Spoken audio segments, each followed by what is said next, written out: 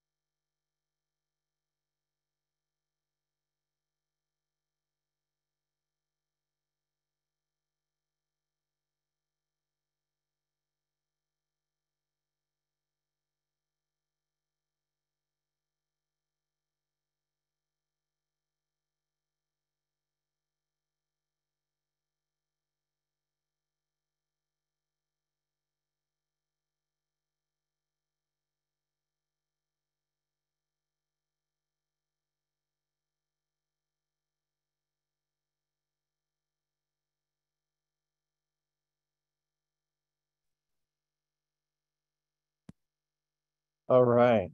Hello, greetings. Hey, Rich. Hi, Taylor.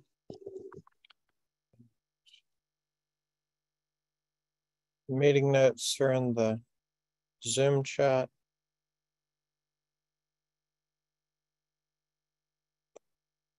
Um, Does anyone have any topics for today? Can add your name and any items to the agenda or say it out loud, add it to Zoom.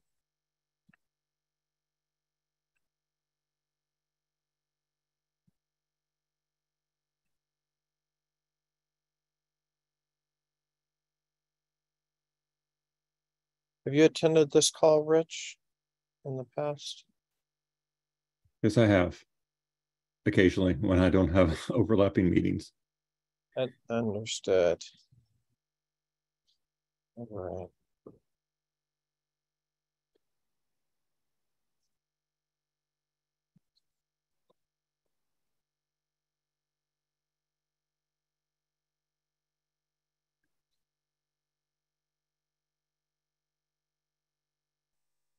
Hey, Victor. Hi, Taylor. Good morning. Morning. All right.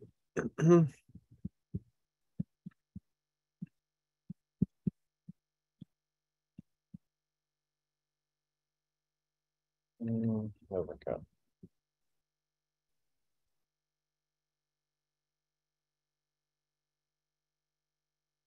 Let's see, so October tenth, we got a couple of weeks until KubeCon and Cloud Native Telco Day. Rich, are you gonna be um making it to either of those, the Cloud Native Telco Day co-located event or? I'm not sure I'm gonna be able to make it there in person. Uh, you know, I know Phil Clatty from uh, our group is going and speaking, but I don't know if I'm gonna be there in person. All right, well, if you are, um, please reach out. Of course, if you're, if you see it, we'll be at Cloud Native Telco Day for the whole um half day event. Reach out if you're gonna make it and let Bill know, so. Like to meet up with y'all. Yep. What about One Summit? In the fall in Seattle? Are you all gonna have any presence there? I need to check and I, I might come up for that. Um, but, uh, I don't know if we're gonna have, uh, who else is gonna be there at one summit. Okay. Uh, we're planning on attending one summit and the LFN Developer Forum. We're gonna have a workshop during the LFN Developer Testing Forum uh, for using the test suite and uh, focused on certification. Trying to make it an interactive session where we can try to help work through any issues and maybe make improvements right there. And KubeCon EU. um, As long as there's no big events that stop it, we're planning on being there in Amsterdam. Um, we're looking for sponsors for the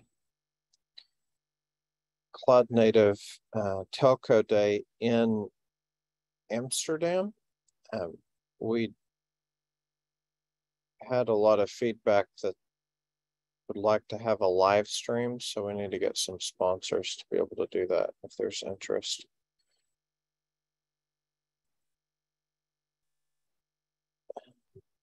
Let's see here. Does anyone have anything specific to go over? Otherwise, I'll jump into PRs and issues.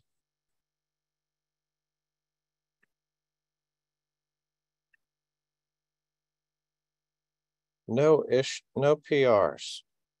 All right. Had a lot open for a long time. I guess it's okay to have no PRs.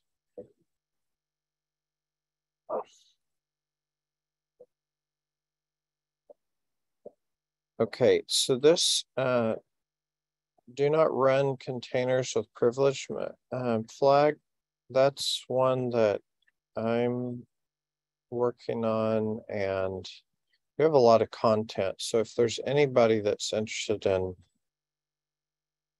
the security best practices, this is probably one of the areas where you can look.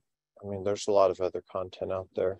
Uh, Kubernetes security at this point, it's picked up a lot, but we've done a lot of research around the least privileged ones.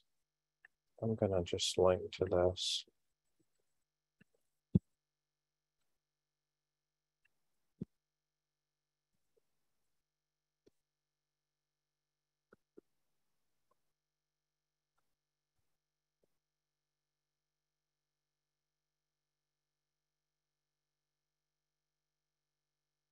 Yes, replace chip. Whatever that means. So there's a lot of content here, um, going over. Least privilege related best practices and deviating for CNF development. And it links back to content that we have been also upstream into other areas, but it covers a lot of stuff down to low level things and the packet filtering and the higher level. This particular issue is, I would call it a higher level, but a pretty straightforward containers running with the privilege flag is what this one's about.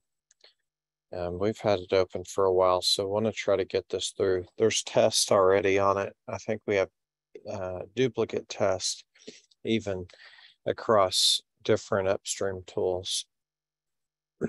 um, we're, I think we're just running one at this point, but I think that one is a pretty well covered. Do this as the default. Taylor, I, I remember that one of the um, no roadblocks, but one of the points that, uh, especially with privilege, was related with uh, attaching with uh, uh, special devices like SR-IOV or things like that.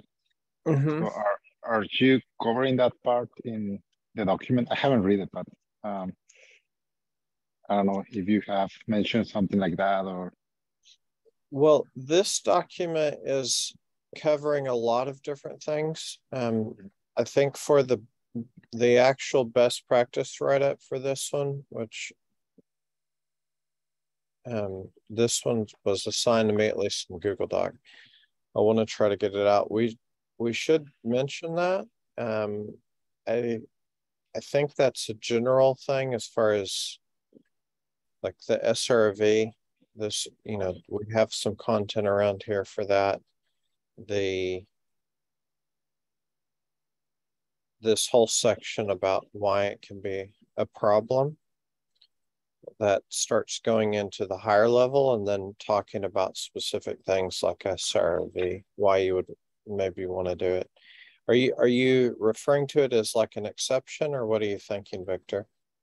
No, no, no. Uh, at least like uh, I, I haven't read it, so probably I need to take a look and probably what you have is is, is enough for clarifying those those um, or how how developers can uh, use it as an exception maybe or or another workarounds if they need to if they're facing with this uh, particular requirement how can they uh, use it or I don't know like but more likely I need to I read it I need to read it. Yeah I I mean I'd be happy to chat with you about it um, work on this. I know you're working on the the networking best practice with multiple interfaces. Maybe we could have some working sessions to go through both of those. But the I've, we've started covering some of this as far as exceptions in different ways. The document that Ian put forward for um, listing any exceptions to following best practices and the guidelines um you know so that you're communicating from a, someone creating cns and where they don't follow exceptions. And it could be ops teams integrations anytime you're not following and communicating that so that the the people that are using those and managing them will understand where the exceptions are. So that's one side. Um, on the testing side, we've been thinking about it from how to validate best practices, and we have the concept of exceptionless. Um, that's specifically around this. So if you're running privileged containers and other things, and you know that you need them. So, you know, one example is there's privileged containers, privileged pods that may be running already as far as uh, Kubernetes core pods, or you may have some other one that you're running that everyone knows and it's okay. So that I think is something that's going to keep coming up um, we need to make sure that we're differentiating between an exception and what do we believe is the default. So uh, keep, I'm just saying that so that we keep putting it forward and don't say because we have an edge case or because sometimes there's reasons to go around doesn't invalidate having the best practice, which I, I know you're not saying, Victor. But if you have some time, maybe we can go over that together. Um, yep, sure. Sounds good. Yeah. yeah. All right. Requirements for multi-interface. I, you were working on this. Do you want to, is there anything new to speak to? Uh, no, basically, I have I haven't received any uh, comments or feedback about these documents, so so please take a look and if you consider something that is missing or like uh, it would be nice to expand it. All right. Rich, did you see this one? No, I've not looked at that one in depth yet. All right. So uh, Daniel Bernier from Bell Canada um, created this issue several months back to talk about the different aspects. So this is multiple interface, but you could also, I mean, I think it's important to think multiple interface or multiple connection, network connections that are segmented. So there's different ways of of solving the underlying problem and multiple interfaces would be one. So if you're going down the path of mul multiple interfaces, then how are you going to do this in a cloud native way? And what are the different aspects here? And um, Victor broke out one part of this, um, multiple interfaces. This is talking about you being more declarative as far as how you're implementing this. So using annotations. So he has a document here, which you can check out. It's linked into the issue to start the conversations about using annotations to communicate um, the networks need, the devices, um, the need for different devices and a bunch of different aspects.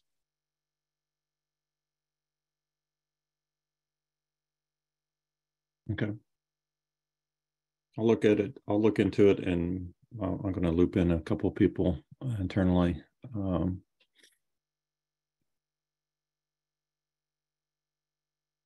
Yeah, I think this is maybe the, the core thing to keep in mind with this particular part of that. So the the issue itself, you know, if, if you're looking at this, and again, this was something that a CSP, um, Yep. they, they're bringing forward to talk about. And this aspect is about trying to be neutral toward the CNI specific parts to make sure that you're more portable. So if you may be on a i- if you're wanting to be able to work with any of the different CNIs and especially move between cloud providers, I think is probably going to be the bigger thing, which is what's being asked. Um, or I should at least say the a Kubernetes distribution where they may have multiple CNIs depending on where they're running. Um, I think one of the things similar to least privilege is trying to make sure a, a application can degrade gracefully. And this would go along with that, Victor. So if, if you have a, if you can support specific CNIs in your application, great. But if they don't have the CNI that you were expecting, than being able to communicate like with annotations, here's what I'd like. And then ideally the platform can say, okay, well, here's what we can provide. And so you can degrade from best possible case where you have very specific things for a, the CNI to a less specific. Anyways, we want feedback, and I think from the standpoint of creating, it's important along with, you know, working with what's being requested from CSPs and the integrators. Okay, okay. All right, I, th- I think some of these others are um, more documentation specific. Um, I don't think there's been any updates on this.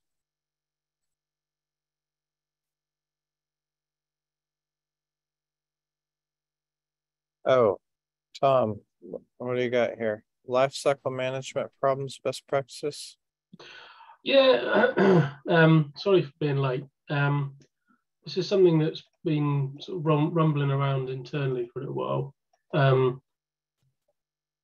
so I think everyone kind of agrees on the the, the target state for um, for software lifecycle management in terms of making it more cloud native and rolling updates and so on. And I think the CNF test suite deals with that as well. Um, I, I just, I just, I, I don't know whether this is the right forum or not, and, and it's more of an open question of whether it's something we should discuss here or take to somewhere else. Of where we have, um, in inverted commas, cloud native platform vendors supporting, let's say, the last or the latest three versions of Kubernetes, for which you know gives us a year of support. Um, we then have the matrix of what versions of Kubernetes do these software vendors support. And then we have the matrix of how capable and quickly can we upgrade one or other of those things and how automatable is that process and uh, you know so on. So i think there's part part of the problem we have anyway is about internal kind of acceptance testing and onboarding process.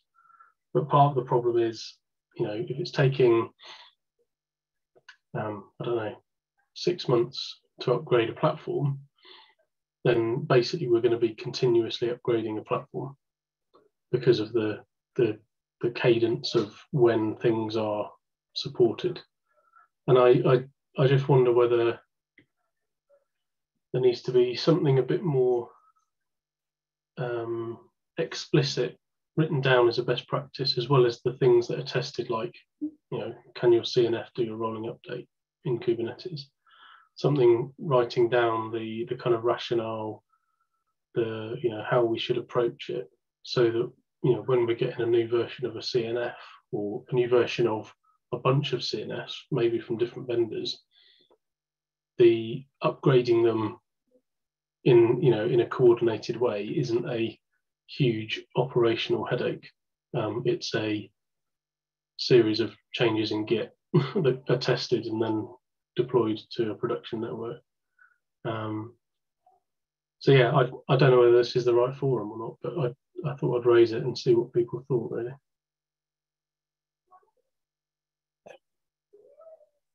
Uh, I would think so. Um, if it gets down to implementing the platform and a, like suggestions or whatever, I don't while we're not focusing on on that specifically, I don't think we should stop from writing up information that's you know related to what we're currently doing. And yeah and, and it's not just about we, you know it's you know it's as an example i won't name any vendors but you know, we've got some applications where if you want to upgrade them, it's a redeployment activity instead of a, a, a, kind of rolling update approach. And I know I know we've got a test in the CNF test suite that tests can you do a rolling update, but I don't think we've got anything or I've not seen anything that's been written down as a best practice yet to explain this is why that's the best way of dealing with updates as opposed to a you know, redeploy the new version of your software and then tear down the old version all in one monolithic kind of approach. Yeah, so both. It's both, I think. So the, I mean, the the concept. I think you're referring to like the concept of a Kubernetes rolling update, um, or the or the very generic term rolling update. Uh, yeah, both both really. Yeah. So I think one of the underlying pieces that people aren't um, that are not as far along is the importance of of breaking the larger application or product or um, solution, whatever you want to say, the larger set of services in a, a like a large workload into the smaller microservices so that each of those can be yeah. redeployed and reconnect. Um, you know, one of the the 5G core, a lot of the components that I've seen are dependent on a lot of pieces being up before they before you can bring up other pieces like they have to be fully running connected and talking and if they're not then other pieces will fail and you would have to redeploy everything yeah. and that type of I, I think that's it's the design and architecture that they're not running as smaller autonomous services it doesn't mean that a maybe a an a consumer of outside of the CSP services may not be able to get their service. That's not the point. It's that each one of them comes to some type of ready state and says, "Hey, I'm I'm waiting for something to connect and then I can move to the next state." And each one of them are autonomous and that's they're the design is more procedural. I, even if you you know your language is object oriented or you talk about modularity when you look at how it's run it's a procedural set of services. Yeah. nothing's going to move forward. And i think that's a lot of what's happening. So when you look at the rolling updates in kubernetes you actually will have new services a, a pod come up that's a new version.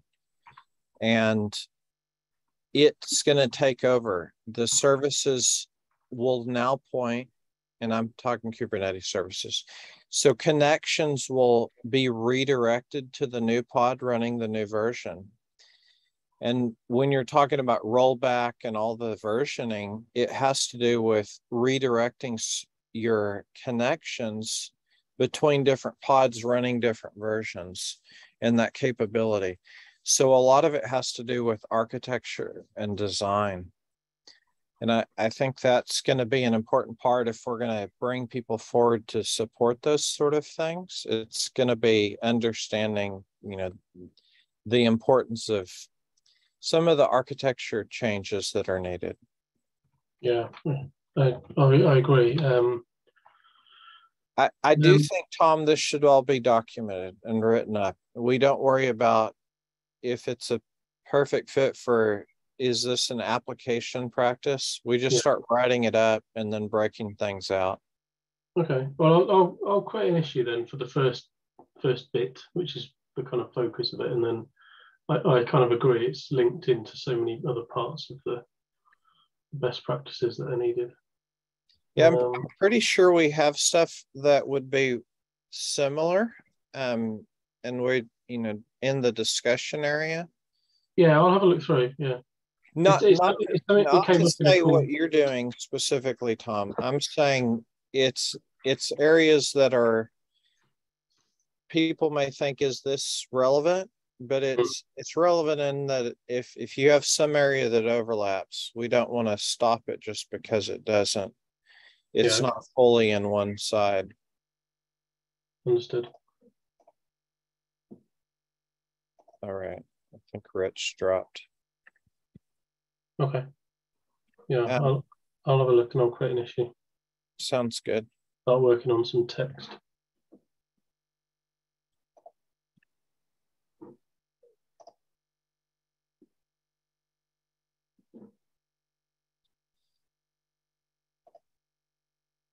there for the um, some of those tests that you were talking about that are related to the lifecycle management and releases and stuff there should be documentation in the test suite for those that could yeah. um, go along with whatever you write up i think one of the areas would be let's see, um.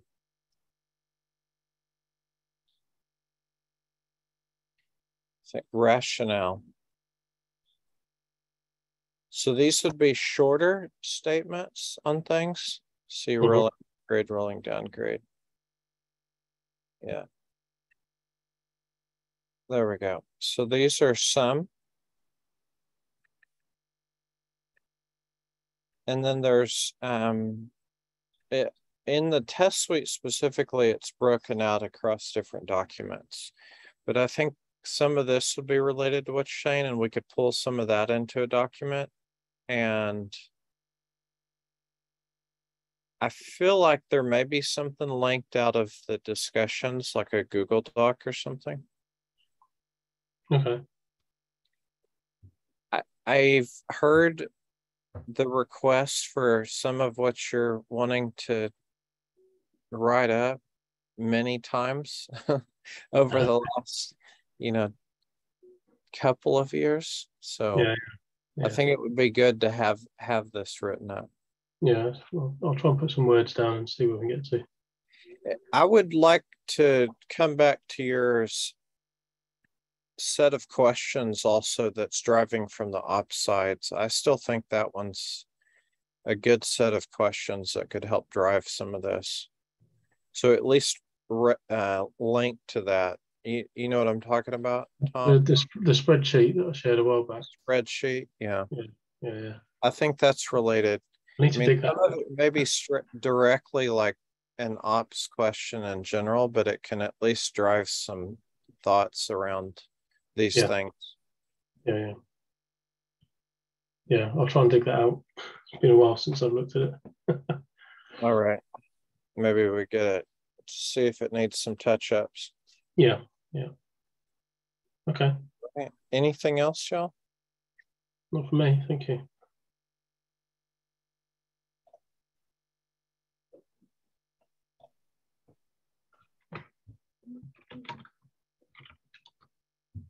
All right. Thanks, everyone. Thank you, Taylor. Cheers. Bye. See you next week.